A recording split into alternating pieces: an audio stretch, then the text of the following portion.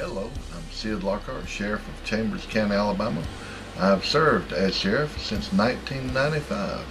I am an 11 year breast cancer survivor.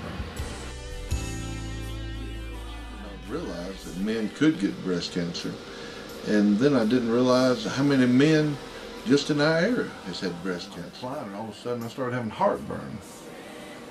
And I blamed that on one of my deputies. When he had the accident, it, uh, you know, it just uh, gave me heartburn. So I reached out and put my hand up here and I felt a knot. I knew that didn't feel right, so I went to the doctor the next day. They said whatever it is had to come out. They operated on me. Came back that it was cancer.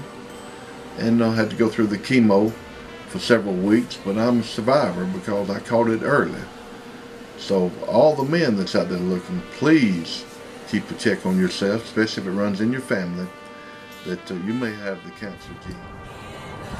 Hello, I'm Steve Trammell. I'm the mayor of the city of West Point, Georgia, and I'd like to tell you about my mother's battle with cancer. First learned of my mother's cancer was uh, September of 1994. She had uh, skipped a year on her mammograms and felt a lump, and I've since learned this is very common and was diagnosed with uh, stage three or four breast It's pretty serious, and of course, as any family member would be, we were very worried about her. Um, she battled cancer for 14 years. She was in Dr. Galishaw's office up in uh, Alpharetta, Georgia, and was the longest survivor they ever had that did not go back into remission. So she, she fought it for 14 years. So it was it was a long, hard battle for her. Uh, as long as she fought it, we always had the hope that she was gonna she was gonna win.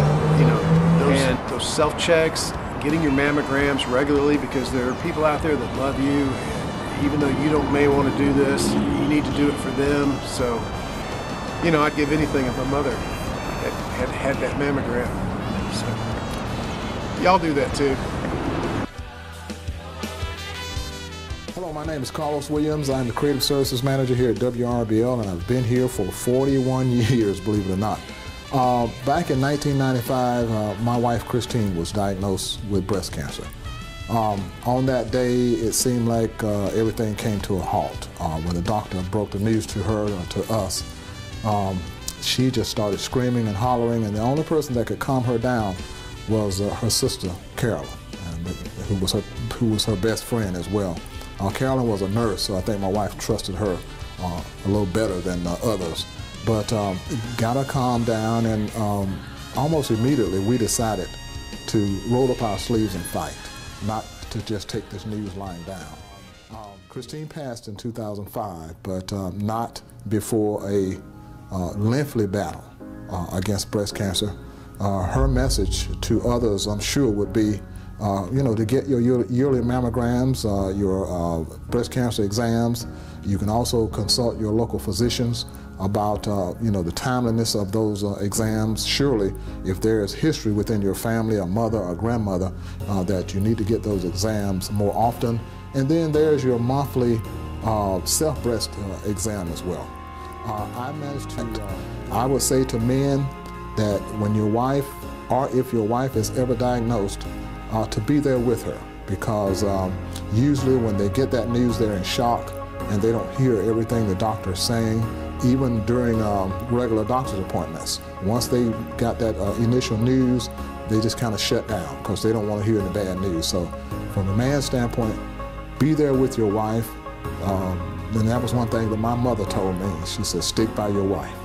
And so I'll say that to the men out there. To the women out there, I'll say, read your Bible and just be strong and know that uh, God is there to protect you. Thank you.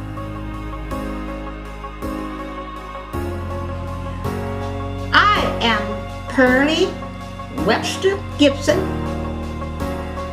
I am a graduate of the Alabama State University here in London, class 1955 when I was diagnosed with breast cancer, I was hit with fear, believing what I had heard, that breast cancer could not be cured.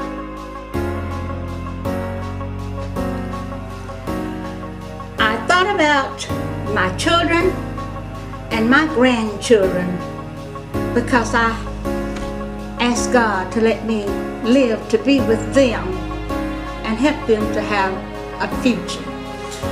I want you to be conscious that cancer does not discriminate age, gender, or race. And most importantly, I want you to remember that it does not discriminate against sororities nor fraternities.